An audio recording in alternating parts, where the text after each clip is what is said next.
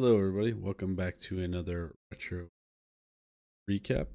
Today, I'm going to be going over the game Popeye for made for the 2600 Atari 2600. The game was made by Parker Brothers back in three. Um, this game is a lot of fun, and I highly recommend it. Uh, checking it out. I got the mastery on this in a little under four hours. This game has 16 achievements total on RetroAchievements. Ratio is at a 5.50 um, right now. That might go up or down, um, but it is a difficult game. But it, this set is actually really, really good. It's got a good amount of difficulty, a good amount of challenge. Um, I don't think you'll have any problem completing the set if you follow some tips and tricks that I'm going to give you along the way. Um, I'm going to go ahead and play my 60,000K run um, right now, and we'll just kind of go through the gameplay of the game and talk about it a little bit and how you can get all these achievements for this and get your mastery. So I'm going to go ahead and start this up. And to start out, if you don't know, Popeye is a character that was developed back in 1929. Um, actually, a long, long time ago. Um, some people might not know who Popeye is, um, but he is a sailor and he was developed originally.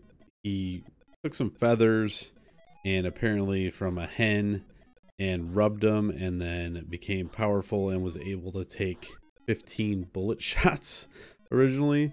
Um, obviously, they changed that now. His new power is that if you grab spinach, um, you get strength and endurance from spinach, and then you, apparently you can beat up people with it. Um, like Bluto. Bluto is a guy that is kind of a bully that's looking to steal your girl. He's in love with Olive, and you're in love with Olive. So the point here is you're trying to get hearts from Olive that she's dropping from the top of the screen and get those before they fall within the sea, which is down at the bottom. Um, really kind of an interesting gameplay mechanic and it's really unique, which I like. I think this gameplay was a lot of fun. I think the scoring is done really well. Um, so it's definitely a game worth checking out if you haven't tried this one. So what you're going to do here is on the first board, you're just going to try to grab the hearts. Every time you grab a heart, you're going to see that a dot comes from one side of the screen. That dot is representative of a bottle um, that's being thrown at you from the sea hag that's apparently off the side of the screen. That's another character that they have is a sea hag in this game. Um, her version is a little bit different in other games. She usually throws skulls from the top of the screen and then, you know, uh, you get hit by skulls that slowly come down. But in this version, she's supposed to be off screen, and every time you grab a heart, she's throwing a bottle at you. So Bluto can also throw bottles at you too. He can throw up to three bottles at a time. Um, anytime there's a bottle being thrown on a level, this is kind of like an Atari tip here. Um, I've had a, I played a lot of Atari games, and I noticed that whenever there's some kind of um, item that's going to kill you on one part of a level, they that usually they don't do it on another part of the level. So like right now he's throwing the bottles at me. Um, and if I were to grab these notes, which in this level she's dropping notes down, if you grab these um, notes while he's throwing the bottles, um, there won't be a bottle thrown at you. So like there, there was a bottle thrown at me. I grabbed the note, but that bottom level, I didn't get a, a note thrown at me there either. Um, so the bottom levels don't usually throw notes, but sometimes they can. Just just be careful there. Um, you can see when the note hits the bottom of the, the sea there, you have to get it before it, it'll start flashing and you'll have to get it before it'll kill you over. If you wait too long, it'll kill you. That's the spinach. The little flashy thing I just grabbed there is spinach. You grab that, you turn into your, you know, like super self. Um, you're immune. Uh, it stops everything on the board. It gets rid of all the bottles being thrown. Um, and you can run around and just basically hit Bluto knock him on his ass and get 3,000 points when you do that. So definitely recommend doing that on every level, um, especially if you're going for the 60k achievement here. Um, for this particular board, I try to stay at the top on the right or the left here. Um, when the notes fall down, you can see that the bottle flies at me. I grab that note. She kind of goes to the other side. Um, I grab this note, and there I got hit by him because he jumped up, but try not to do that. Um, most of the time you can get in a rhythm on this board that if you stay at the top here, you can grab that note like there I did with my toe. Like you can kind of stick your toe out there and grab a note with that. And then I go to the other side and then go immediately back to the other side. but stay at the top because see when he starts throwing bottles at you, then he's kind of stuck there. He's not moving to the side. Um, so you want him moving to where you're at and then going up, grabbing a note, going to the other side when he starts walking over. And you can kind of just do this on this level back and forth. Um, now you're also grabbing the notes. The higher you're grabbing the notes, the more score you're getting. So if you're at the top level there, I'm going to be getting like 500 um, per note. You also get 100 if you hit each bottle. So that's the bottles are worth points too. So they're really hard to hit. That's probably where the most difficulty is in this game is that those bottles will come at you and you basically have like one punch um, you can't spam your your button at all. You have to basically time your punches perfectly to hit those bottles, and you'll get in the rhythm of that go. So you'll you'll just keep doing that and timing your punches and making sure you're hitting the bottles correctly. So this is a third board. Um, you can see we're at about twenty thousand now. Um, same thing. She's dropping kisses. You're supposed to be on a ship. Um, with he turns into Sinbad the sailor, I guess apparently when he's on the ship or something like that and not uh, Bluto, anyways. And so they, she's dropping kisses. You hit a bottle. This for this whole level, pretty much the first part of this level, you can just stay at the top, and there's like a uh, treadmill that's at the top that you can run across there. That's not gaps there. Um, the bottom levels, the two levels below that, that look like they're flashing, they look like they have treadmills on them. They don't have treadmills on them. You will fall through the floors on those. So the only one that's got the treadmill on it is the top level. So you want to go go back and forth, keep grabbing her as quickly like that. Those things fall very, very fast. So if you miss one, um, you're going to be stuck kind of running down to the bottom. So what I found is you just kind of go back and forth, stay with her, and then when she throws, she's always going to throw to the direction that she's facing. And when she does that, you grab it, you hit the bottle when you need to, and you just keep doing this. He'll eventually come up to that next level right there. And then when he, when I do that, when he does that, I usually go down and I'll go grab the spinach and at least get my 3,000 points that way. There I kind of waited a little bit for the kiss to come down so I could just grab it easier.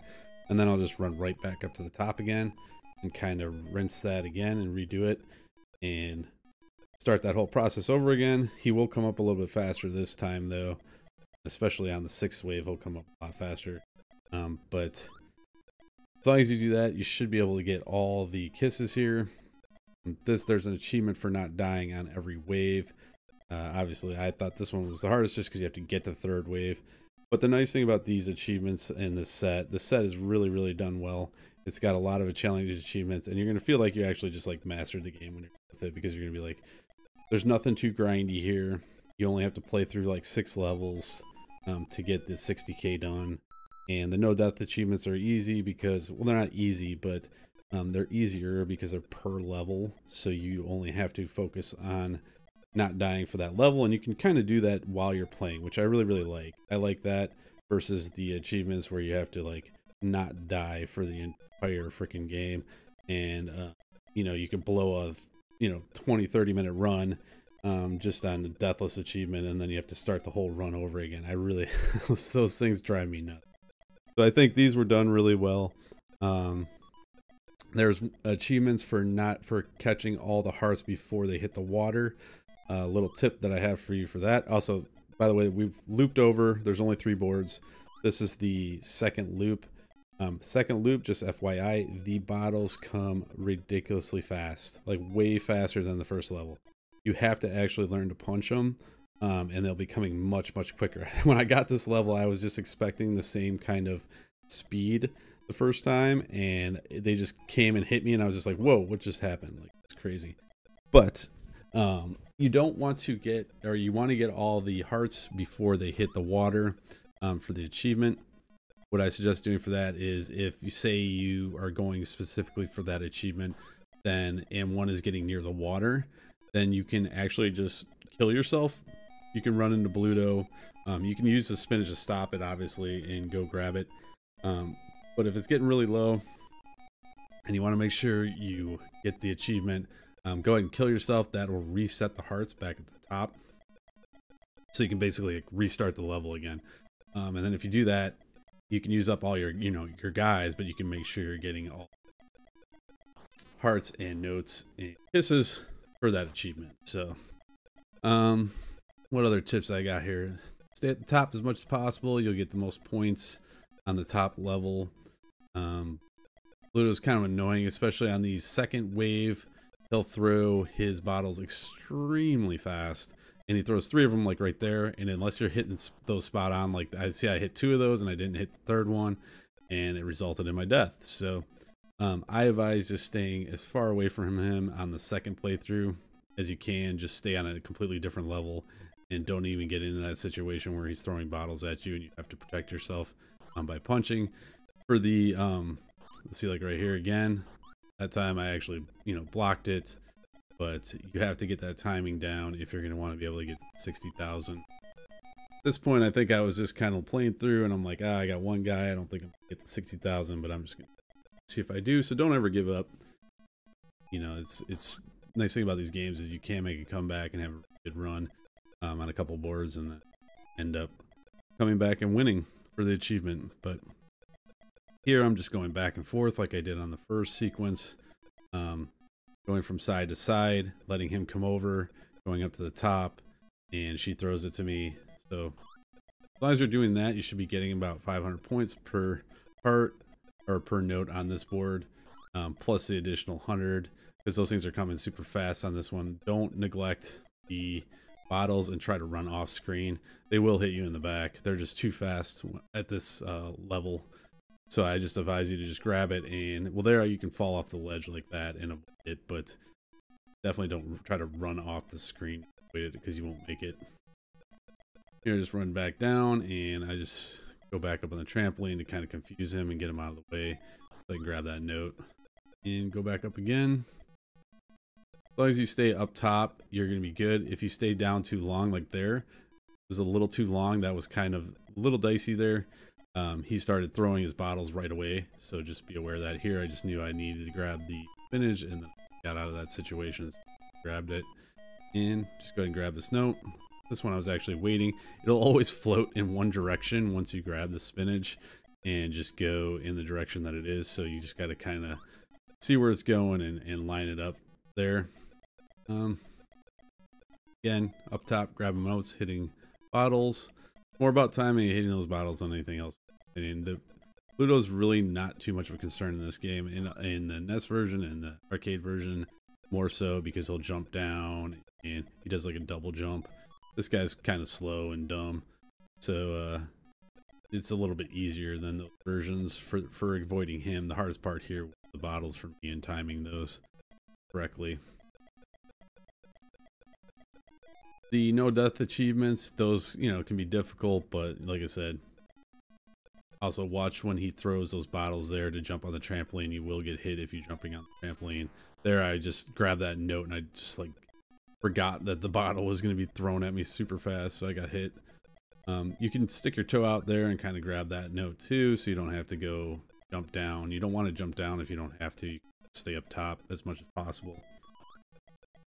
There I had a nice little block from the uh, bottle. And so this is the wave, basically the, second round of wave three. The thing that got me like through this was basically like I got to this wave and I thought the bottles were going to be flying at the same exact speed as the other two boards because they were coming so fast. So I was like kind of like getting a little nervous here going to the third this third board being like oh my god these bottles are going to be coming at me super fast and I have a small area to be in and I'm grabbing stuff right away that I thought I was going to get just destroyed. But what happens when you get to this board, the bottles actually fly at the original speed. So there you can see I got my spinach eating pirate, uh, which is the 60K. And my runtime was right about three hours and 38 minutes. But that was, I also just leave my, a lot of times just leave the game on. You go do other stuff like laundry or eat or whatever.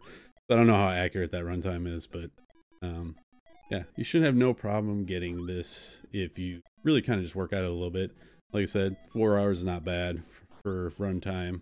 Um, and they were they were a lot of fun to get. I, I, feel like this game was a lot of fun. Great set. Whoever made the set is just made the difficulty just the right amount. Um, a lot of times we get you know achievements in these RetroAchievements that are gone overboard or just ridiculous. Um, especially those deathless ones. I hate those. Um, I also like high score achievements like this where the last one's kind of like you're going for your highest score. You can see I fell down there. There's no treadmill there. So grab these last couple ones. Um, I didn't end up passing this level just because uh, I had a bad bad sequence here at the end, but uh, still super fun. a great time with this game, and I hope you can get the mastery on this and that you enjoy it as much as I did. Um, or go see the 1980 movie with you know Robin Williams, Shelley Long, and if you don't know who Popeye is, and at least watch that movie so you know who he is. But here I tried to go for this last one, and I got greedy, and I should have just waited. Um, and Bluto got me. But I hope you enjoy that little retro recap, and you get your mastery, and you enjoy playing Popeye. And I will see you in the next recap. Thanks for watching.